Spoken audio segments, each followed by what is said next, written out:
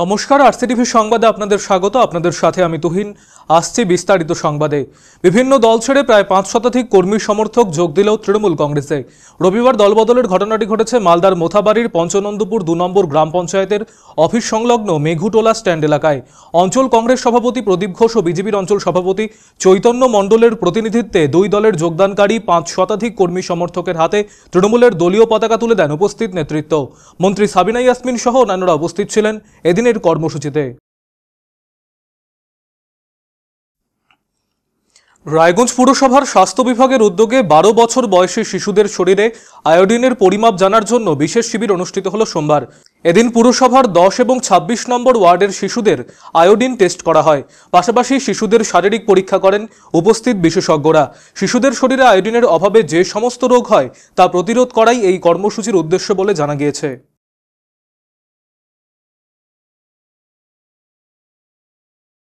স্বাস্থ্য দপ্তরের আইডিনের উপরে একটা প্রোগ্রাম হচ্ছে হচ্ছে আইডিডি অর্থাৎ আইডিন ডিফিসিয়েন্সি ডিসঅর্ডার প্রোগ্রাম এখানে ছয় থেকে বারো বছরের যারা বাচ্চারা রয়েছে মূলত স্লাম এরিয়া থেকে তাদের খাদ্য লবণ যেটা তারা প্রতিদিন খাচ্ছে সেই লবণটা পরীক্ষা করা হচ্ছে।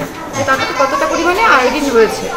তার সঙ্গে তাদের একটা ফিজিক্যাল এক্সামিনেশন হবে এবং কিছু স্যাম্পেল হিসাবে তাদের ইউরিন কালেক্ট হয়ে এবং সল্ট কালেক্ট হয়ে চলে যাবে একটা ল্যাব টেস্টের জন্য। এখানে যে টেস্টটা হচ্ছে সেটা ম্যানুয়াল টেস্ট হচ্ছে এরপরে স্যাম্পেল টেস্টটা হবে ল্যাবরেটরিতে উদ্দেশ্য বলতে যে আয়োডিনের অভাবে যে গলগণ্ড রোগ হয়, সেটাকে আগে থেকে যদি আমরা প্রিভেন্ট করতে পারি, আগে থেকে আমরা ডিটেক্ট করতে পারলে এবং খাবারের লবণে সেই আয়োডিনের পরিমাণ কতটা ইনটেক করছি, কারণ আয়োডিনের তো আর কোনো সোর্স নেই, একমাত্র সল্ট বাদ দিয়ে সেটা ডিটেক্ট করাই হলো আমাদের সরকারের উদ্দেশ্য।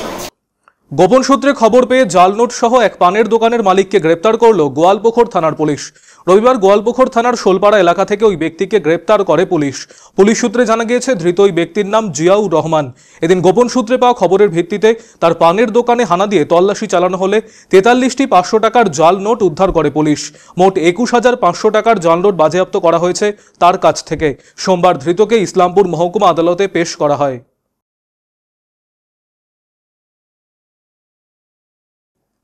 যুদ্ধবিধ্বস্ত ইউক্রেন থেকে নিরাপদে বাড়ি ফিরে এলো মালদার ইংরেজবাজার শহরের মালঞ্চপল্লীর বাসিন্দা ডাক্তারি পড়ুয়া মৌমি সিংহ। দু বছর আগে ইউক্রেনে খার্কিভ ন্যাশনাল মেডিকেল ইউনিভার্সিটিতে ভর্তি হয় সে। কিন্তু যুদ্ধের খবর আসতেই মেয়ের নিরাপত্তা নিয়ে চিন্তায় পড়েছিলেন তার বাবা মা। অবশেষে বারো কিলোমিটার পায়ে হেঁটে রোমানিয়া হয়ে ভারতীয় দূতাবাসের সহায়তায় কলকাতা হয়ে বাড়ি ফিরে আসে সে। মেয়ে নিরাপদে বাড়ি ফিরে আসায় স্বস্তিতে পরিবারের সদস্যরা। যদিও কীভাবে এখন সে তার ডাক্তারি পড়া সম্পন্ন করবে তা নিয়ে দুশ্চিন্তায় পড়েছে ওই ছাত্রী।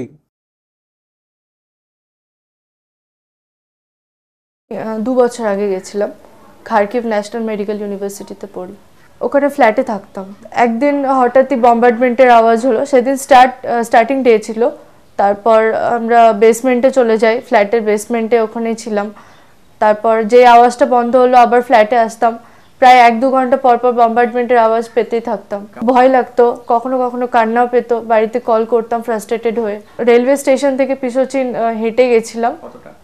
প্রায় তেরো, চোদ্দ কিলোমিটার। তারপর ওখান থেকে আমাদেরকে বাসে করে রোমানিয়া বর্ডার অবধি নিয়ে আসা হয়। রোমানিয়া বর্ডার থেকে ইন্ডিয়ান গভর্নমেন্ট সব হেল্প করেছিল।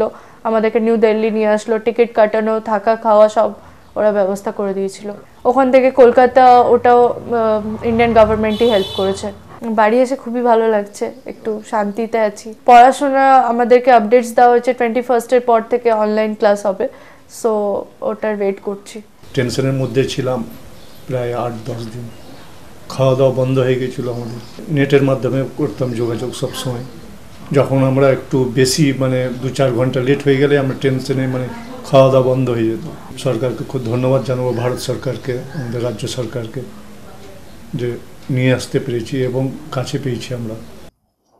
মালদা মেডিকেল কলেজে উদ্ভূত রক্ত সংকট মেটাতে মালদার কোঠাবাড়ি এলাকায় স্থানীয় একটি স্বেচ্ছাসেবী সংস্থার উদ্যোগে রক্তদান শিবির আয়োজিত হল রবিবার।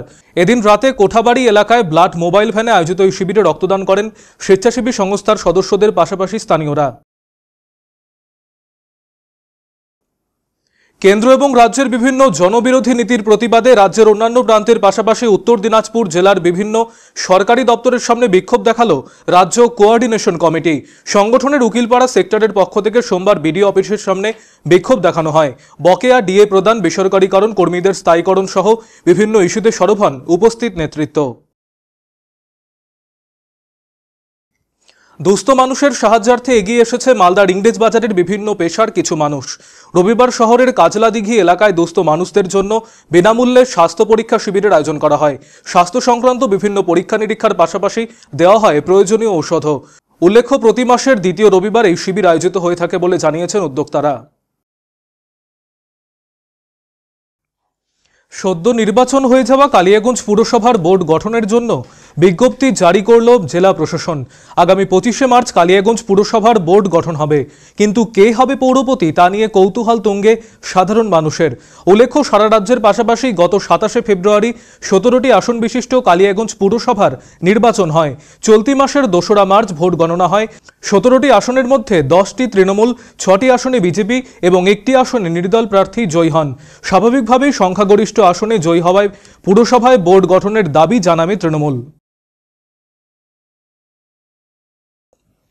অবৈধভাবে ভিন রাজ্য থেকে পাথর বোঝাই করে আনার অভিযোগে চারটি ট্রাক আটক করার পাশাপাশি ট্রাকগুলির চালকদেরও গ্রেপ্তার করল পুলিশ।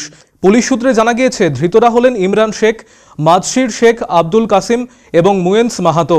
তারা ঝাড়খণ্ডের সাহেবগঞ্জ জেলার বাসিন্দা। পাথর বোঝাই ট্রাক নিয়ে মানিকচক দিয়ে যাবার সময় তাদের জিজ্ঞাসাবাদ করেন পুলিশ কর্মীরা কোনো বৈধ কাগজপত্র না দেখানোয় ওই চারটি ট্রাক আটক করা সহ ট্রাকের চালকদের গ্রেপ্তার করে মানিকচক থানার পুলিশ। সোমবার তাদের মালদা জেলা আদালতে পেশ করার পাশাপাশি ঘটনার তদন্ত শুরু করেছেন পুলিশ কর্মীরা সংবাদ এখনকার মতো এ পর্যন্তই। পরবর্তী সংবাদ দেখতে চোখ রাখুন আরসিটিভির পর্দায়। নমস্কার।